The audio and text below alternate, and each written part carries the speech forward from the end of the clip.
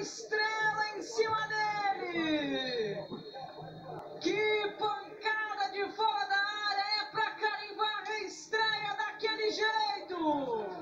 Professor, por favor, anote lá que é dele. Por favor, anote e coloque uma estrelinha dourada no nome do homem. Ele tá inspirado, é pra voltar. Pra voltar de pé direito. Que bola, hein? Que bola! A jogada bem trabalhada. Renato recebeu. O Juliano serviu. Falou: Renato, vai lá, Renato. Faz o seu. Faz o seu, Renato. E ele bota no fundo da rede. Que golaço. Ana Thaís Matos. Impressionante, hein? Vai falar o quê, né, Natália? Que roteiro bem escrito da estreia, da reestreia do Renato Augusto com a camisa do Corinthians, né?